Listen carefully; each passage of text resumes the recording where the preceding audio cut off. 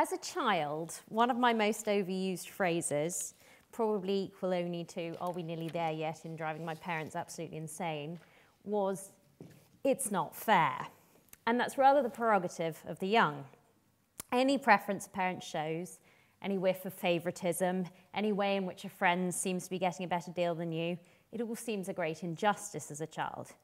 And that comment would, of course, attract that ever popular parental put down life's not fair. But here's the kicker the young today have every right to say just that. And looking at this audience, there are quite a lot of people who fall in the category I'm thinking of here. So the under 30s today are expected to be the first generation in recent history who will stay poorer than their elders throughout their lives, facing that lovely triple whammy of low wages, high housing costs, and insecure employment. If you're under 27, your generational bequest is pretty diabolical, the hand-me-down from hell. Now, parenthood, generally, and I did do population, this is one of the puzzles, the very basic puzzle of population, is why on earth anyone ever has children. I remember my demography tutor describing it as, and I think he said at the time, £150,000 and 18 years of partial house arrest. It's now £225,000 and still probably actually now about 21 years of partial house arrest. Yet people still do it. And one thing that that means, one thing that they tend to do, something that unites humans across all of history essentially and all across the world, is that they have a desire for their children to have a better life than they did. They want their children to struggle less than them. They want them to have advantages they never did. Now, that probably is the parental affliction. But the baby boomers, or Generation Jammy, as some people have termed them, probably me, uh, have actually broken that. They've sold out their children. Now, it isn't just me who believes this. There's plenty of research on this subject. And the book titles of, of all these books will, will give you a clue. There's the jilted generation. What did the baby boomers ever do for us? And that's by a, a baby boomer called Francis Beckett, who writes, We have squandered the good times. One half of the baby boomers were too busy to notice, the other half too greedy to care. And then, perhaps most famously, there's a book called The Pinch How the Baby Boomers Took Their Children's Future and Why They Should Give It Back. Now, that one's particularly interesting because it's by David Willetts, who was known, I think, in government as something like Two Brains. And he was the former universities secretary. And he was a member of a cabinet who made this worse.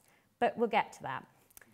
And even the FT, hardly a paper known for hyperbole, declared last year that, it, that the UK was no country for young men.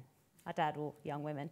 Uh, it followed an investigation into the generation that has all these depressing nicknames.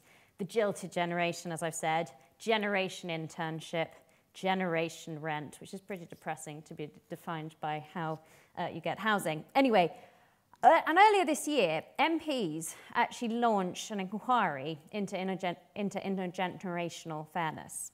Now, the fear was that the British state pension and welfare system is unfairly favouring pensioners at the expense of younger workers. Well, duh, of course it is. But before I get to that, I want to bat off an argument that you get a lot in response to saying this, to making this argument. And it's that you're sort of moaning, because life today is a lot better in certain ways than it was for my parents. And I absolutely agree with that. Society has become more liberal and tolerant in its attitude to people's private lives. Uh, we've still got enormous progress to make, but it is better to be gay today, it is better to be a woman, it is better to be trans, it's better to be all sorts of things. Um, and that is progress. And we have iPads and a Topshop on every high street. But none of that really disproves that there's a terrible generational legacy. And it's what the government and successive governments are doing to the young, and then what they give to the old. Now, if you look at what the young are getting today, we had the educational maintenance allowance being ditched. The young get a lower rate of job seekers allowance than everybody else. And in last year's budget, the government scrapped the automatic entitlement to housing benefit for 18 to 21 year olds. Now, they did make this exception for vulnerable and other hard cases, but as with all these things, that's a fairly difficult thing to prove. Now, I want to look at that particular policy just really quickly, because there's a real danger with that policy that it forces children to keep living in very difficult circumstances when they're actually no longer children. And Crisis, the homeless charity, predicted at the time that that would unsurprisingly result in an increase in homelessness. And under 25s already make up a third of homeless people in this country. And then, of course, since we're in a university setting, you have the fact that young people, if they do go to university, face stonking fees where others once had grants. And I just wanted to look at one tiny little policy, that, uh, one tiny little prejudice that I think is quite interesting.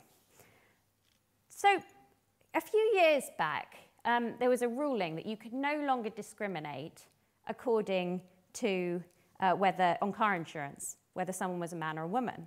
And at the time, I remember thinking, so a woman is less likely to have, an uh, to have a car crash um, on average than a man. So they, this was deemed to be unfair. And yet, of course, and I was a young, angry person at the time, and this angered me, you could still discriminate on age. So young people still had to pay more. Nobody thought that that was discriminatory. Now, on top of all this, of course, young people who will be facing later, much later retirement than previous generations, they're being priced out of home ownership, and they're drowning in debt, both public and personal, uh, they then have to pick up the bill for the baby boomer generation when they retire. Oh, it's a joy to be young. And then turn to looking at that older generation. Well, Cambridge probably came for free for them. Uh, they had very nice final pension schemes that we've been uh, shut out of. And when they, became when they become pensioners, they still get their free buses, bus passes, and TV licenses. And that is not determined by how wealthy they are. And undoubtedly, I would just, as an aside, point out there are uh, undoubtedly pensioners in poverty. But as a group on the whole, uh, their wealth has increased uh, as, as a proportion of our wealth as a nation, uh, as obviously other people's has declined. And let's look at cuts and austerity. Well, that is where they've been ring fenced. Uh, the state pension has kept rising with, the, with this triple lock that, the that you hear a lot about, uh, which essentially means that it will rise by whichever of uh, the three is the greatest. So uh, either the inflation rate, which is based on the consumer prices index, uh, the increase in average earnings, or 2.5%, the highest of those three. Now, what I particularly wanted to look at is housing, because this is one of the areas, or probably the area, where this is all most brutal. And once we were called a nation of shopkeepers, and now I sort of think the baby boomers, at least, have wanted us to become a nation of homeowners because it became this sort of crazy obsession. If you looked at TV, for example, you know, there were all these programs about buying houses, upgrading your house, uh, location, location, location. I mean, all of this is sort of a cult of it. And you look at that, so all that is going on, and yet the young are priced ever further out of that, unless, of course, they have a donation from the bank of mum and dad, as it became known. And that, of course, perpetuates a very different kind of, of inequality. And what happened, obviously, is that some people made their fortunes out of their houses. They expected their house to make money in a way that previous generations have not. And they also, in some cases, actually found that their home was making more money, and this is still true in London, in parts of London now. People's homes are making more money each year than they are. Now, what I did, which is a sort of smug little thing to note on this, is that actually this became a problem for this spoilt, spoilt generation too. Because of course, if it's harder for young people to get on the housing ladder, it's, far hard, it's much harder for parents to boot their children out of home too. And one of the things that I noted uh, as a 20-something columnist, I'm now 31, but was a number of people, uh, sort of 50-something columnists, who would write that they wanted to kick their children out of their homes for their own good.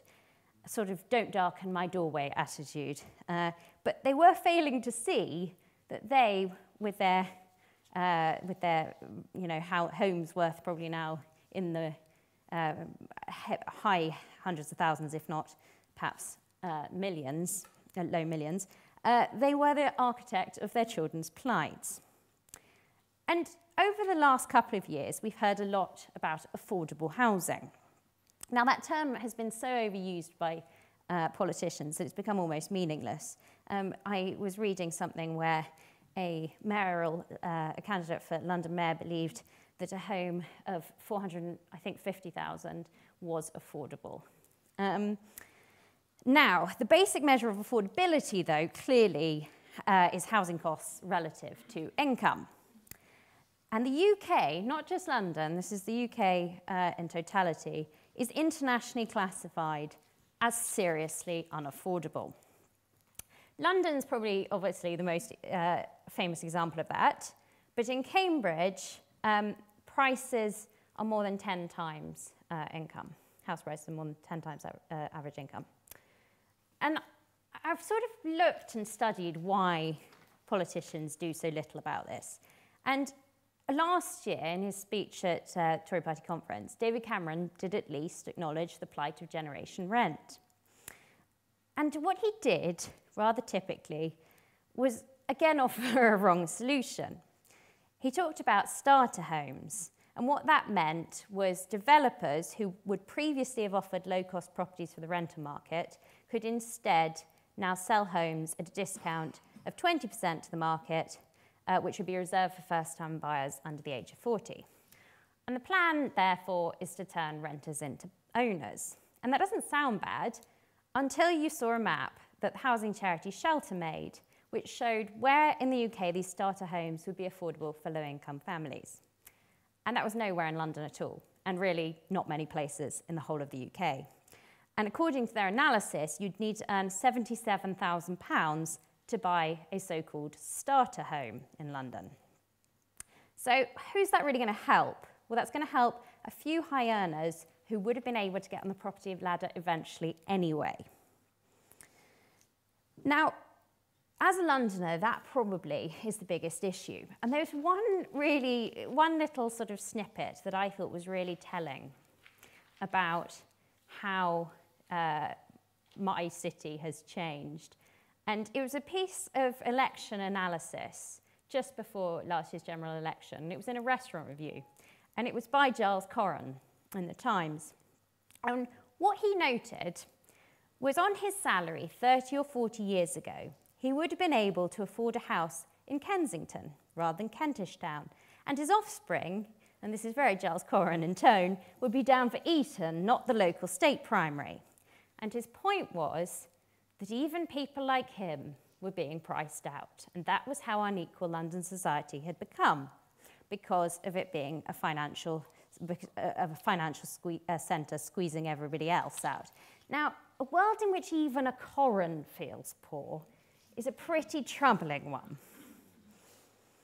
So one of the questions Barbara asked me when we chatted before this was, why has capitalism ended up producing this level of inequality? And I'm not sure we can entirely blame capitalism for this. There's a demographic element to this problem, clearly.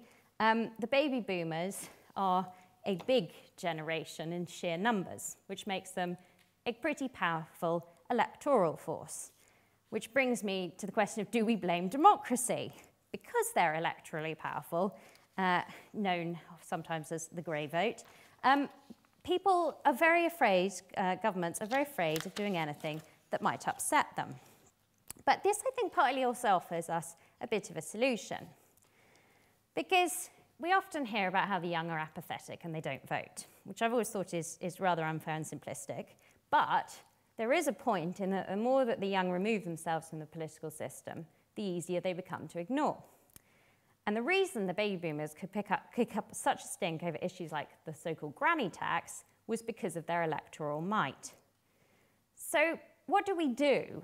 And one thing that I actually think would really help, that's very simple, would be a form of electoral reform, or voting reform rather. And that would be bringing in a system that actually seems modern as opposed to our rather dated uh, paper ballot, for which we have this sort of lingering nostalgic affection. And so I thought we could have an app or something called Voter, obviously with no E in it, um, as is the way. Um, and then instead of going to the polling booth in the rain, we could have actually a modern system that was a bit more like how we bank. And lots of people always insult this idea because they say, oh, it's a civic sacrament and we don't want it brought down to the level of the X factor. But actually, I would argue democracy is far more seriously debased by low voter turnout. And perhaps, of course, and David Cameron was one of the people who was most opposed to us having any kind of um, electronic voting, he would have a different view if it weren't younger voters who were alienated by the current system, who are, of course, the part of the electorate less likely to vote for him. Now, that's one sort of, that's one answer. You can see actually that there is a movement recognizing this. And I think the success of Bernie Sanders in the US is a sign of that. And probably to a slightly lesser extent, Jeremy Corbyn in the UK winning, um, winning the Labour uh, leadership contest. But I also think there's a broader point which is attitudinal. And one of the things that's most marked about housing is that actually we've, young people have effectively been uh, infected with older people's obsession. And so we focus a lot on making things better and making it easier to buy. But this is a really British obsession.